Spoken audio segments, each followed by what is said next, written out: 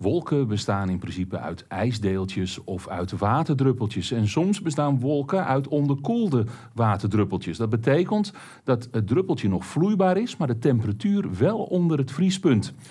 En hier zien we een laag altocumulus waarin veel van die druppeltjes onderkoeld zijn. En dan kan er soms een fenomeen optreden. En dat zien we heel duidelijk op deze foto. Dat noemen we pilotengaten of punchholes. Op deze foto zijn er twee te zien. En die ontstaan op het moment dat zo'n laag altocumulus door iets verstoord wordt. Door een turbulente stroom, bijvoorbeeld opgewekt door een vliegtuig. Wat gebeurt er dan? Daar waar die turbulentie ontstaan, gaan de onderkoelde waterdruppeltjes tegen elkaar aanbotsen en bevriezen als het ware. En samen worden ze zwaarder en gaan ze naar beneden vallen. Je ziet dan ook heel duidelijk dat die structuur van die wolk echt anders is. Want hier in het centrale deel zien we echt de ijzige structuur die we ook heel vaak bij hoge bewolking zien. En daaromheen is nog wel heel duidelijk de altocumulus met de structuren zichtbaar.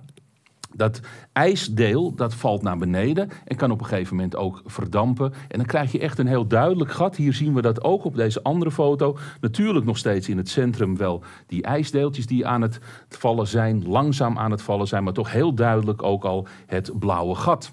Het kan ook anders en dat noemen we een distrail. We kennen natuurlijk allemaal wel de zogenaamde condensatiesporen die we soms achter vliegtuigen zien. Maar je hebt ook dissipating trails en dat betekent dat als een vliegtuig door zo'n wolkenveld heen gaat met al die onderkoelde druppeltjes, hetzelfde effect kan optreden als bij een echt pilotengat. En hier zien we een heel mooi voorbeeld. Heel duidelijk zijn er twee sporen te zien. Hier is een spoor en hier is een spoor.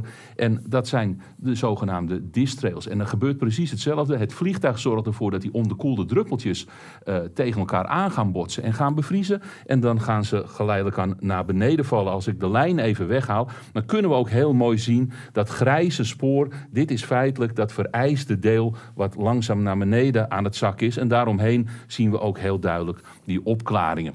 Gisteren ontvingen we ook nog een hele bijzondere foto. Ook een distrail, maar daar is de atmosfeer toch een beetje gevarieerd. Temperatuur, relatieve vochtigheid, die zullen wel wat van elkaar afwijken in dit gebied. En wat er dan gebeurt is dat we eigenlijk een heleboel kleine punchholtjes achter elkaar krijgen. Er zit een hele duidelijke structuur in. En dat is ook veroorzaakt door een vliegtuig dat zo vloog.